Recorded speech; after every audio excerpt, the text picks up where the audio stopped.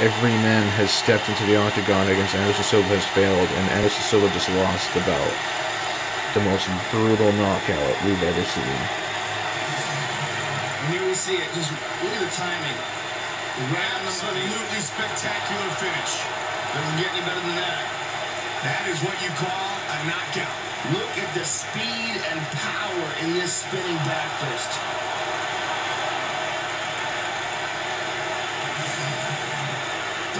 Has the official decision. Ladies and gentlemen, referee Yves Lavigne has called a stop to this contest at 2 minutes, 32 seconds of the second round. Declaring the winner by knockout, hey, the King, Wilson!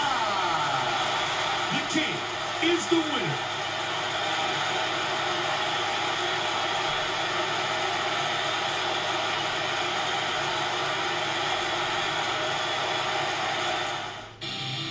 So if you take a look at the highlights, there is no man that on basically in UFC Octagon history that was able to, you know, beat up Anderson Silva like I did.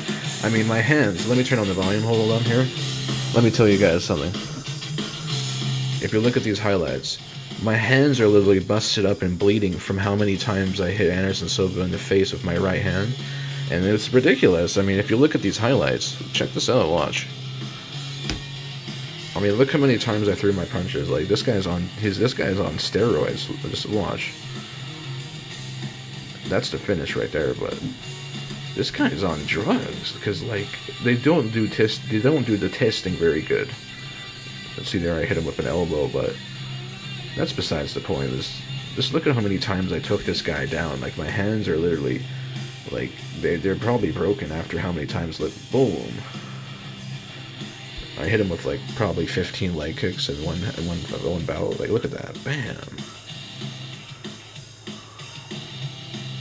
I mean, clap it up, ladies and gentlemen. You just saw the greatest of all time get absolutely slaughtered like it was nothing.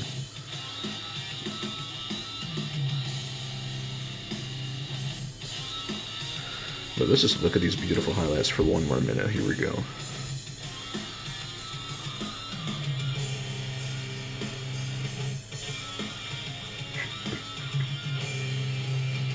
Him with a takedown.